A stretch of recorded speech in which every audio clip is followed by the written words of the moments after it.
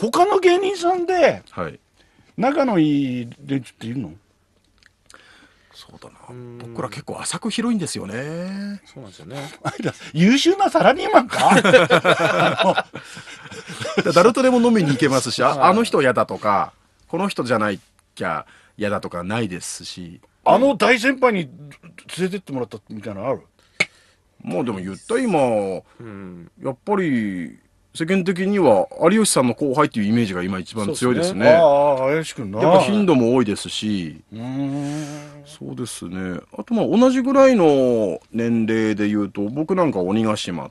おとは本当仲お良くて、毎年、豊島園に必ず3回ぐらい遊びに行ってプール行くんですけど、何それ。いやいや、豊島園って鬼ヶ島とプール行くプールが楽しいんですよ。なんでだよいやいや、なんか楽しいんですよ。子供と行くならわかるけどさあのー子供とも行くんですけど、流れるプール？まあもうそうです、そうです。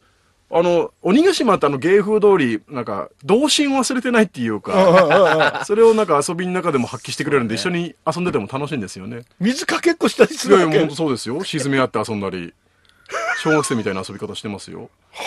まあそこに流れ星がこう、一緒に。流れ星も。流れ星も。あの辺でプールに行く。これ芸人の良さですよね。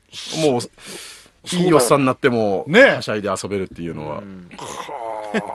あ例えばさ、はい。あの今ほら『アメトーーク』ってあるじゃない、はい。は出たことある、僕は一回だけですね。僕が一回だけ。なんなん？僕はあの彼女の前では甘えん坊芸人ですね。まあ僕の場合嫁になるんですけども。なるほど。ああのー、酒井君、はいももしかあああそこに出るとしたら自分はななんなんていうジャンルで出られると思いますか？なんだろう、俺、何のジャンルかな？でもサッカーはやっぱ僕多分詳しいんで。ああサッカー芸人結構いるんですよね、サッカー知ってる人。ああ多いそうねなんですよ。それのネタはもうすでにやったんじゃないか？さもうやってます。うん。でもワールドカップが近くなるとまたやると思うんで。今ピースあたりが食い込んでますからね。名前もかぶってますしね。なんですよ。そうか難しいんですよね。ねえ、はい。演技派芸人とかでいけんじゃないかなと僕思ってるんですけど 演技ね派芸人、いっぱいいますよ、演技派芸人。も。いやなかなか若い30代であの演技できるやつなかなかいないですいからねや街街ができるやつな。ー、町芸人。街芸人。街の演技芸人。違ってなそれおかしいな。応援してもみんなだばでもなんか趣あるな。みあたいなあね。そうそうそう。単独みたいな予定はないんですか？今まだちょっと考えてないんですよね。なんかこだこだしてて。僕もなんか子供ができてからネタもちょっと書くペースが落ちてきてー、単独ね。なんかね、子供生まれてから物事を斜めに見ることできなくなって。もともとそういうネタでしたからね。ちそうかそうかょっと今苦戦してますよ、ネタに関しては。片言の人にならないとそうなんですね。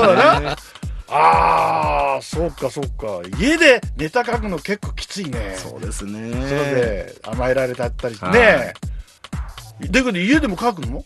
家でもまあ書いたりするんですけども、うんなんせあ愛が溢れすぎてる家庭なんで、一生懸命絞り尽くして書くと、すごいただのハートウォーミングなストーリーになっちゃってて、面白くてもなんともないみたいな。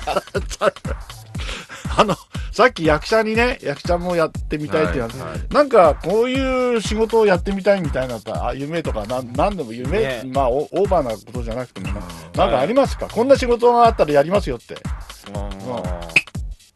山田洋次さんの映画に一回でいいから出てみたいですね。山田裕二さん好きなんだ。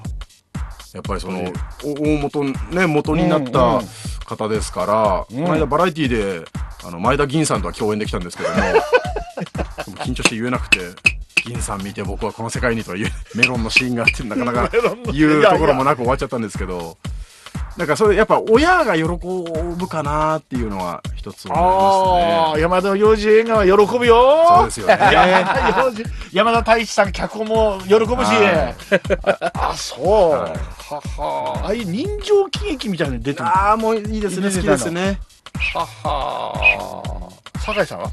僕、なんかコント番組みたいのをやりたいですよね。あネタのねネタの、なんかセットとかちゃんとあああそうか、はいい、わゆるひょうきん族みたいなああいって。そう、うああいうのいいですよね。他のグループとはいはいはい絡んだり、はい。うねえ、なかなか今なくなっちゃったもんね。ね、全部終わっちゃいましたからね。ねえ。たまにサンドイッチマンさんとかと、ん東北魂っていううん番組やらせてもらってるんですけど、CS めの方でちゃめちゃ楽しいですね。番番組？番組で CS の方で東北出身の芸人がこう集まって、はい。まあ、遠くへの復興の意味も込めてまあ、コントなんかをやるんですけどもそれももうセットが本当しっかりしてて、へえ。今では本当に見ない珍しい感じでコントやらせてもらえるんですけど、まあ、ゲストで時々呼んでもらえて。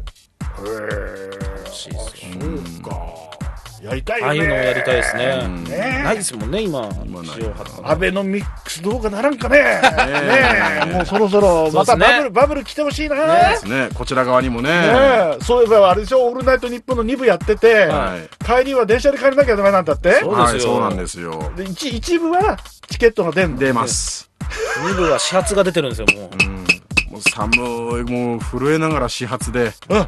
帰るんですよ家までだから有楽町だから家もねちょっと離れてますし、うんうん。さダッシュじゃない、ダッシュではない。さすがにもう。ダッシあュではない。まだまだ違いますね。